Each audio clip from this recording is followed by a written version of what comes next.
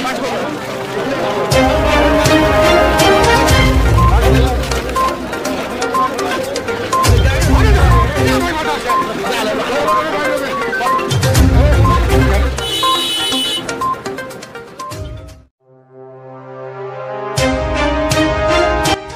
राष्ट्रपति र प्रधानमन्त्री विरुद्ध नाराबाजी गर्ने माथि कारवाहीको माग सरकारको समर्थनमा सडकमा ओली पक्षीय विद्यार्थी भेला।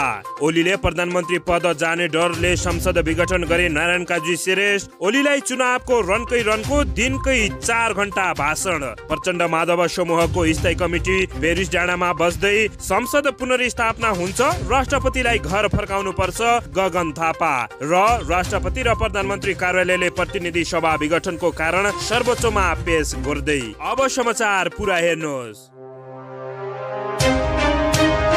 दर्शकबिन नमस्कार। सदा चाहिँ आज पनि विशेष खबर लिएर उपस्थित भएका छौँ। यो भिडियोलाई अन्तिमसम्म हेर्नुहोला।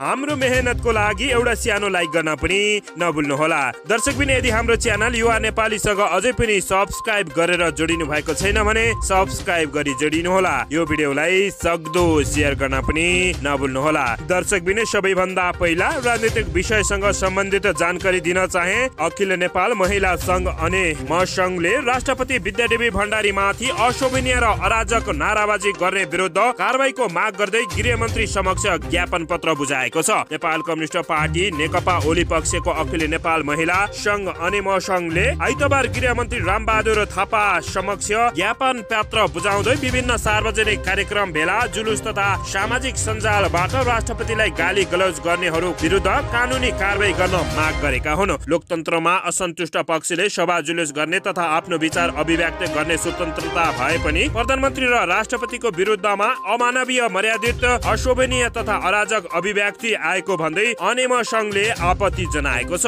ज्ञापन पत्र बुझाउँदै गृहमन्त्री रामबहादुर थापाले राष्ट्रपति माथि अशोभनीय र अमर्यादित विषय उठाइएको प्रति सरकारको ध्यान आकर्षण भएको बताएका छन्। उनले सम्बन्धित निकायलाई छानबिन गरी कारवाही गर्ने निर्देशन दिएको पनि बताएका छन्। नाराबाजी गर्ने विरुद्ध कानुनी कारवाही गरिनुपर्ने अन्यथा आफूहरू नै कानुनी प्रक्रियामा जाने अनेम सङ्घकी नेत्री शर्मिला कार्कीले जानकारी दिएकी हुन्। प्रधानमन्त्री केपी शर्मा ओलीको सिफारिसमा राष्ट्रपति विद्यादेवी भण्डारीले पौष पाँच गते प्रतिनिधि सभा विघटन गरेसँगै विभिन्न राजनीतिक दलहरू सरकारको असंवैधानिक कदम भन्दै यति बेला आन्दोलित भएका छन्। आन्दोलनमा प्रधानमन्त्री र राष्ट्रपति विरुद्ध नाराबाजी हुने यति गरेको छ। दर्शकबिन यसैबीच आउनुहोस् अर्को समाचार तर्फ लागौं। प्रधानमन्त्री केपी शर्मा ओली पक्षका विद्यार्थी संगठनले सरकारको पक्षमा सडकमा निस्किएका छन्। बबर महल स्थित कार्की बेङ्केटमा आयोजना हुने नेकपाको ओली निकट विद्यार्थी संगठनले सडकमा ओलीको पक्षमा प्रदर्शन गरेका हुन्। बेलामा प्रधानमन्त्री समेत रहेका अध्यक्ष केपी शर्मा ओलीले सम्बोधन गर्ने कार्यक्रम तय भएका छ। प्रधानमन्त्री ओलीको प्रतिनिधि सभा विघटनको कदमका कारण नेकपा विभाजित भएपछि अनेरासु भ्यूले ठुलो संख्यामा केन्द्रीय सदस्यहरू मनोनित गरेको छ। प्रतिनिधि सभा विघटन पछि नेकपाको प्रचण्ड नेपाल पक्षका विरोधका कार्यक्रम केन्द्रित बनेको छ भने ओली पक्षले चुनावी सभाको झल्को दिने गरी कार्यकर्ता भेला गरिरहेको छ। काठमाडौँमा आयोजित हुने सबै जसो कार्यकर्ता भेलामा प्रधानमन्त्री ओली लगातार सहभागी हुँदै आइरहेका छन्। दर्शकबिन यसैबीच आउनुहोस् अर्को समाचार तर्फ लागौं। नेपाल कम्युनिस्ट पार्टी नेकपाका प्रचण्ड माधव समूहका प्रवक्ता नारायण काजी श्रेष्ठले दुई हजार सतहत्तर पुस पाँच गते नेपालको इतिहास कालो दिनको रूपमा अङ्कित भएको बताएका छन्। मार्कसवादी ज्ञान केन्द्रितले आइतबार बिहान गरेको भर्चुअल कार्यक्रमलाई सम्बोधन गर्दै श्रेष्ठले प्रधानमन्त्री ओलीको असंवैधानिक कदमबाट यो दिन इतिहासमै कालो दिनको रूपमा दर्जन भएको बताएका हुन्। प्रधानमन्त्री केपी शर्मा ओलीले ओलीको असंवैधानिक कुरो विरुद्धमा अहिले सबै एकै ठाउँमा उभिनेको विकल्प नभएको उल्लेख गरेका छन्। उहाँले अहिले संविधान विरोधी क्रियाकलापको विरोध गर्नु ऐतिहासिक जिम्मेवारी पनि भएको छ। असंवैधानिक र अलोकतान्त्रिक कदमलाई हर हालतमा असफला बनाउनु पर्छ उनले भनेका हुन्। समाजवादी नेपाल बनाउनु पर्ने बेला संविधानले गरेको व्यवस्था स्थापित गर्नुपर्ने बेला केपी शर्मा ओलीका कारण देश संकटमा परेको उनले बताएका छन्। पार्टीको विवादको कारणले संविधानको हत्या गर्न नपाउने उनले भनेका छन्। प्रधानमन्त्री केपी शर्मा ओलीले बाध्यताका कुरा गरिराख्नु भएको छ तर त्यसको बाध्यता आइलाग्यो। उहाँले प्रधानमन्त्रीबाट फालिदिन्छ भन्ने विषयमा उहाँहरूलाई डराएको हुनुपर्छ उनले भनेका हुन्। हो पार्टीभित्र अन्तर सङ्घर्ष चलिरहेको भनिरहेको थियो। प्रधानमन्त्री ओलीले प्रधानमन्त्री पदका लागि संविधानको हत्या गर्न नमिल्ने उनले बताएका छन्। संविधानमा हुँदै नभएको अधिकार प्रधानमन्त्रीले प्रयोग गरेर श्रेष्ठ गरेको श्रेष्ठले टिप्पणी गरेका छन्। उहाँले प्रवृत्तिको कारणले समस्या भएको थियो। उहाँले बैठकको निर्णय र बैठकमा नआउने कारण संसद भङ्ग गर्नुभयो उनले भनेका छन्। जनताको काम गर्न नसकेपछि हटाउनु पर्ने भन्ने लागेर संविधानको हत्या गर्नुभयो उनले आरोप लगाएका हुन्। श्रेष्ठले पार्टीभित्र आधिकारिक आफ्नो पक्ष भएको दावी गरेका छन्। केन्द्रीय कमिटिको तिन सय पन्ध्रको निर्णय मान्य नहुने उता बालुवाटारमा भएको